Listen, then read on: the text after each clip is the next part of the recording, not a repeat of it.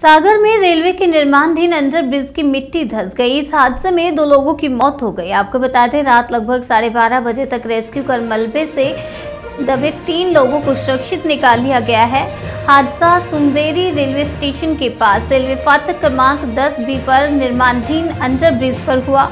घटना की सूचना मिलते ही रेलवे प्रबंधन और पुलिस की टीम मौके पर पहुँच गई और रेस्क्यू ऑपरेशन शुरू किया। सुमरेरी रेलवे के पास गढ़ोला, जागीर समेत कई ग्रामों को जोड़ने के लिए रेलवे फाटक क्रमांक दस बी पर अंडर ब्रिज का निर्माण कार्य चल रहा है। शुक्रवार रात करीब साढ़े नौ बजे ट्रैक से ट्रेन गुजरी तो अचानक अंडर ब्रिज की मिट्टी धस गई, जिससे वहाँ काम कर रहे मजदूर और रेलवे कर्मचारी दब गए। हादसे के बाद मौके पर अफरा तफरी मच गई।